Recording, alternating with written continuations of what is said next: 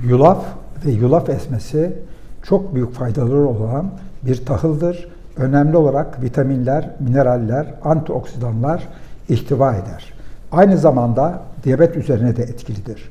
Düşük kan şekerini e, düşük kan şekerini sağlar ve böylece yüksek kan şekeriyle mücadele eder. Yulaf ezmesi genellikle yemenin e, büyük faydaları vardır. Avena sativa denilen bu bileşik doğrudan doğruya e, doğrudan doğruya yulaf e, avantajı güçlü antioksidan olarak kanser başlangıcında da önemli rol oynayabilir. Burada yulaf genellikle beta glukan ihtiva etmektedir. Ekmeğin kabuğunda da yulaf e, beta glukan vardır. Bu da immün sistemi güçlendirmektedir. Ama en önemlisini bu kadar kısa kesmek zorunda kaldığım için en önemlisi de şudur. Radyasyonu önler ve radyasyon aldıktan sonra bir hafta yemek lazımdır.